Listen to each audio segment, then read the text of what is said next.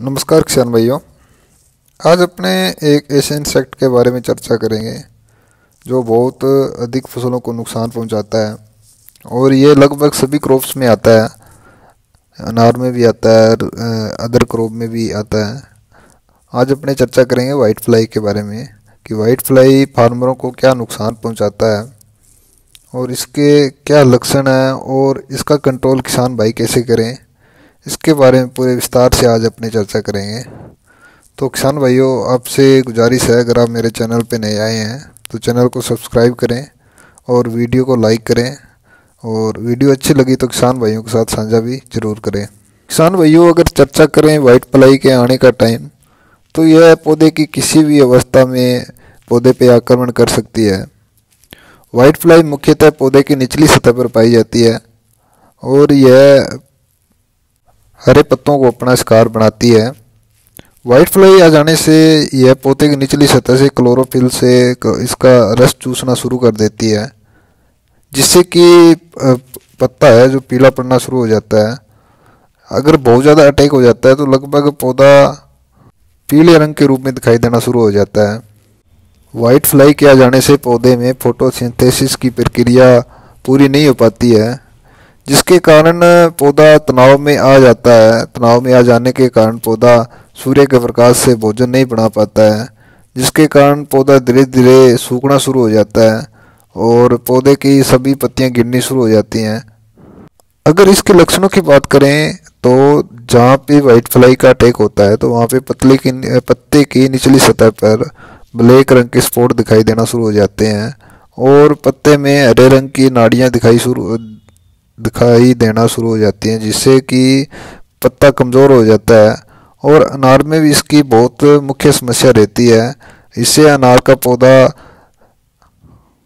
हल्का हरे रंग का दिखना शुरू हो जाता है। अगर वाइट फ्लाई का अटैक अनार के पौधे पे हो जाता है तो पत्तियों के गिर जाने से पौधे के जो फल आता है, उस पर बहुत नेगेटिव प्रभाव पड़ता है। क्योंकि पौधे की जो पत्तियाँ हैं, वो तनाव में आ जाने के कारण पौधा भोजन नहीं बना पाता है। अगर भोजन नहीं बना पाता है तो पौधे पे फ्लोरिंग कम आएगी। अगर फ्लोरिंग आ भी जाती है तो फ्लोरिंग के ड्रॉपिंग की समस्या भी बहुत ज़्यादा रहती है।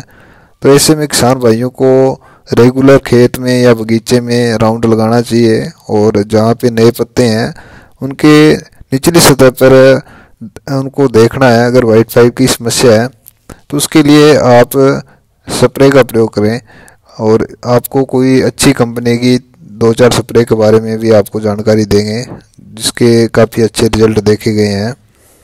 तो अब चर्चा करते हैं कि आप वाइट फ्लाई के कंट्रोल के लिए कौन कौन से प्रोडक्टों का इस्तेमाल कर सकते हैं। सबसे पहले बात चर्चा करते हैं लेनो के बारे में। इसमें पायरीफ्लोक से पिन पाँच परसेंट आता है। यह वाइट फ्लाई के अंडों पे काम करता है। मतलब वाइट फ्लाई का अटैक होने से पहले आप इसका अगर इस्तेमाल करते हैं, अगर, या थोड़ी बहुत वाइट फ्लाई का अटैक हो गया है खेत में तो आप इस स्प्रे का प्रयोग कर सकते हैं। इसके काफ़ी अच्छे रिज़ल्ट हैं। ये स्पेशली अंडों पे ज़्यादा काम करता है। दूसरे प्रोडक्ट की चर्चा करते हैं एस एल पाँच सौ पच्चीस। इसमें दो साल्ट आते हैं। डाई पेंथोन पच्चीस परसेंट आता है और पायरेफ्लोक्सिपिन पाँच परसेंट आता है। यह अंडों के साथ साथ उड़ने वाले मच्छरों पे भी काम करता है और कॉन्टैक्ट बेस पे भी ये काफ़ी अच्छा काम करता है। आप, अगर वाइट फ्लाई का अटैक हो गया तो इस प्रोडक्ट का आप यूज़ कर सकते हैं और नेक्स्ट प्रोडक्ट की बात करते हैं अपने। बायर कंपनी का सोलेमो नाम से प्रोडक्ट आता है। इसके भी काफ़ी अच्छे रिज़ल्ट देखे गए हैं। आप इन दवाइयों का कर सकते हैं अगर आपके खेत में लग रहा है अभी वाइट फ्लाई की समस्या है। और किसान भाई, इस बात का मुख्य ध्यान रखना है कि कोई भी स्प्रे आप वाइट फ्लाई के प्रयोग कर रहे हैं, उसका दो से ज़्यादा बार प्रयोग नहीं करना है। अगर दो से ज़्यादा बार आप प्रयोग करते हैं तो इसके रिज़ल्ट में काफ़ी डिफरेंट आ जाएगा, दूसरी या तीसरी बार रिज़ल्ट काफ़ी कम हो जाएगा। अगर आप करना चाहते हैं तो सेम टेक्निकल का प्रयोग नहीं करना है, बीच में आपको दूसरा टेक्निकल करके फिर उसी टेक्निकल की स्प्रे आप कर सकते हैं। इससे आपको बेटर रिज़ल्ट देखने को मिलेंगे। तो सभी किसान भाइयों का बहुत बहुत धन्यवाद।